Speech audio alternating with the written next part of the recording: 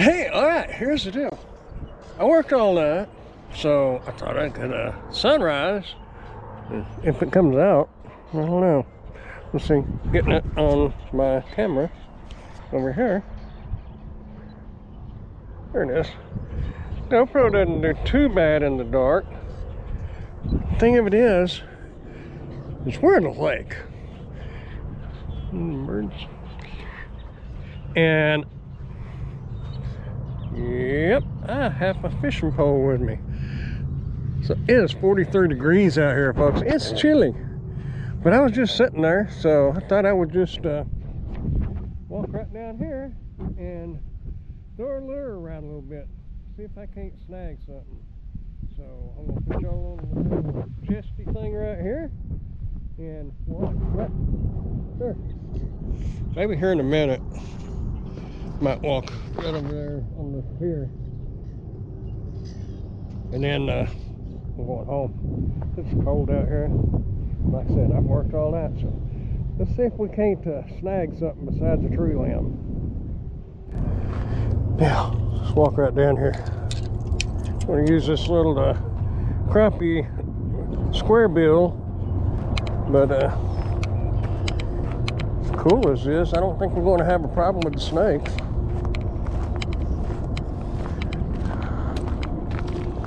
Step up here.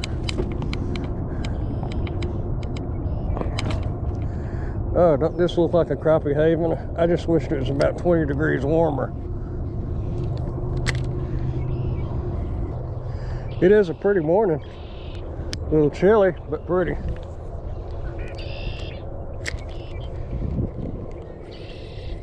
Hmm. And then this side of rocks. This is not real deep right here. Uh, maybe two foot, three foot deep. Yeah, it have something to do while I was running the camera over there.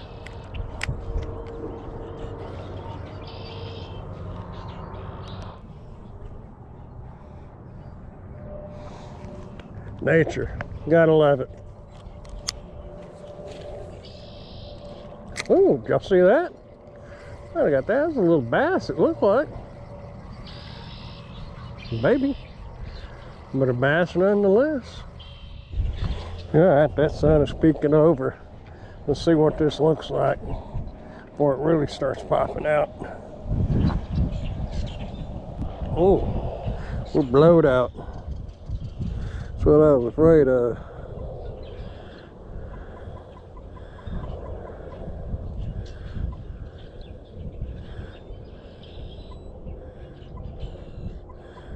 Put that down.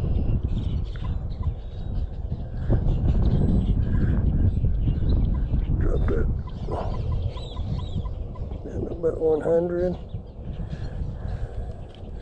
What do y'all think? How's that look? A little bit darker.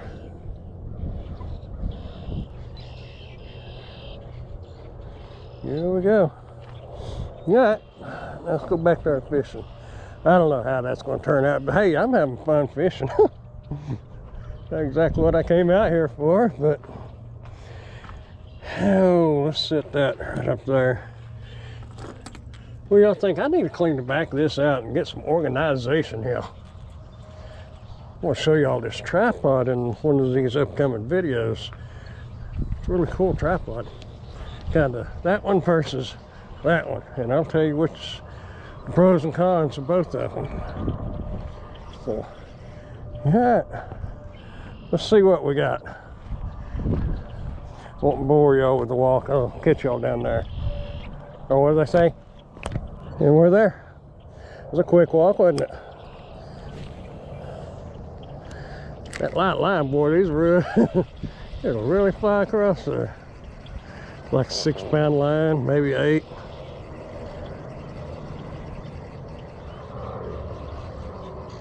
Here's the tip of that rod bouncing. That's some action on that lure.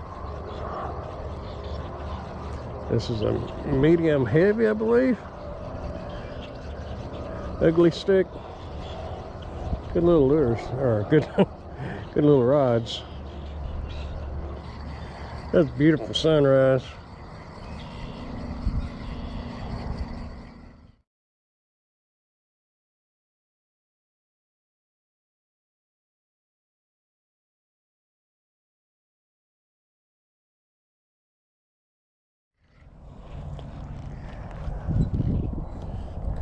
Always look above you when you start to reach back the cast.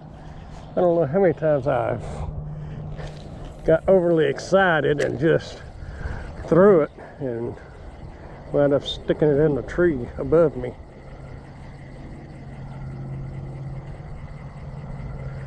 And if you fish and you say you've never done that, I'd question that. I'm not calling you out on it, I'm just saying. You've done much bank fishing, you've probably done it. Sometimes people ask me, how did I come up with dirty shoes? Look at there. It seems like everywhere you go, there's always a shoe. One shoe. When you're out in the mud and hiking trails or wherever, always come across one shoe. And that's how I kind of come up with dirty shoes. Made sense to me.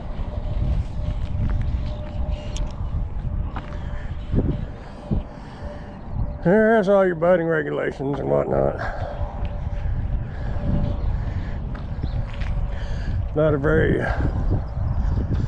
deep lake. Not a whole lot of stick-ups out in them towards the middle, but there are lots of rocks down the dam as you see. Let's cast that. Oh, oh, oh, where are we going? Oh, we landed right on the pier. Oop, oop.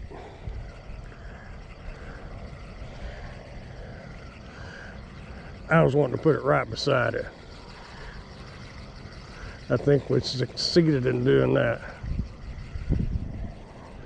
Out at uh, Lake Buffalo about a week ago.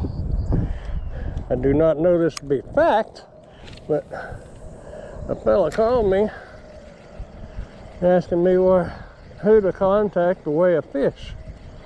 He caught a crappie that he said on his scales weighed four pounds, but his scales are not official. And if that's the case, it was definitely a lake record and quite possibly could have been a state record for Texas. Now, I did not see the fish and I did not know the guy just a phone call I got while I was at work. But the way he was talking, I tend to believe him because he wasn't like over exaggerating talking or whatever. He's a little disappointed, but I bet he got pictures. So I told him, get pictures and measure that thing and let it go. Whether he let it go or not, I don't know and I don't know if it was a white crappie or a black crappie. I believe if it was a, what is it? I think Texas is 3.96 on white crappie and 4, 414, 412, something like that on black crappie. I may be wrong. I may have that backwards, but it's something like that. Either way, a four pound crappie is a big, big crappie. I've never caught one that big. I've never seen one that big. Now they put, uh, supposedly they put brush down here in the edges of the pier here. It's supposed to be fishing only and for your boats and whatnot. But kids tend to come out here during the summer and swim. And I, you know, I'm not saying that I wouldn't have done it too, but uh, sure makes it tough for people trying to fish. And it is a fishing pier, not a swimming pier. So I don't know. There's pros and cons. I've come out here a few times. Oh, did I do it again? Well, I don't think we'll get it around that is. What kind of bottom floaters we got on here? I don't know. Yeah, let's not chance it. I like the slur. Uh, but I've come out here to fish and there's been people out here swimming. I'm not gonna try to run them off or nothing. That's not cool. You know, if they were here before me, they were here before me. And that's how that rolls. But I, I think that cold front we had come through pretty much uh, shut the fishing off for a few days. But I'm off this weekend. Today is Thursday. It's supposed to warm up. So may try to get out here or somewhere. All right. Let's get back over there where it's warm. I don't know.